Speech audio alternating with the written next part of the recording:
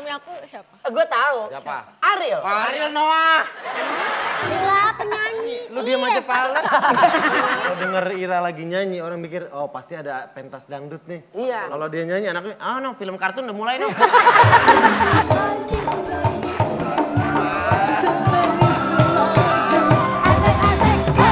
Saksikan hanya di Sedap Malam.